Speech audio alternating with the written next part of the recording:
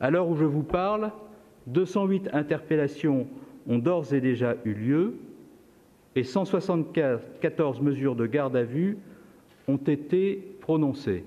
Parmi les projectiles lancés sur les forces de l'ordre, ainsi que le préfet de police l'a indiqué, ces activistes violents ont utilisé les bougies que les citoyens déposent symboliquement en mémoire des victimes des attentats de Paris au pied de la statue de la République.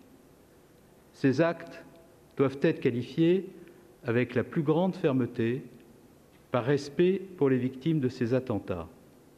Je le redis ici fermement